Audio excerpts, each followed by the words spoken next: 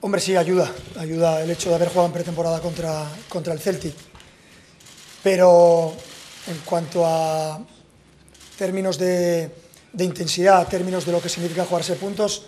creo que hay una, una diferencia. Lo que sí creo que veremos un rival muy parecido al de pretemporada, por la idea que tiene su entrenador, por la idea que intenta implantar en el, en el Celtic, que es una idea de, de jugar, de asociarse, de presionar cuando pierden el balón y, y bueno, es un rival que, que, presenta sus complicaciones, superó bien las,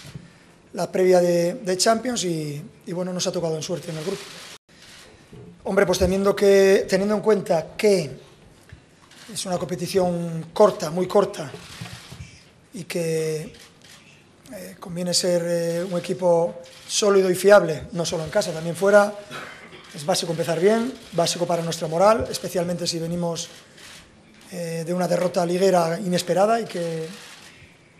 y que haya sucedido de esta manera, pues evidentemente sería un gran refuerzo para nosotros conquistar los tres puntos. Pero mejor centrarse en las cosas que tenemos que hacer en el terreno de juego, a nivel futbolístico, las cosas que nos hacen ser mejores que el rival para, para no caer en una especie de necesidad que a estas alturas de temporada sería ridículo. Hombre, a mí me gustaría no fallar nunca, pero eso a lo largo de las temporadas no lo he visto casi nunca, o muy,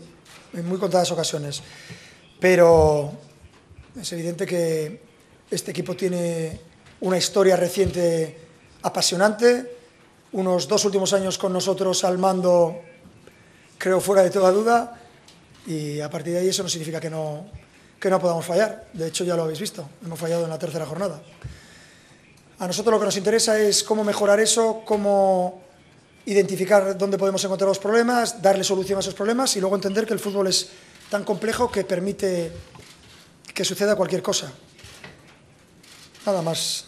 A partir de ahí, creo que el tiempo habla por sí solo de lo que ha hecho este equipo y de lo que hemos hecho desde que estamos aquí, sabiendo que el pasado no nos interesa, pero es un referente claro de la confianza que tiene que, dar este equipo a sus aficionados, que no tengo ninguna duda que la tienen.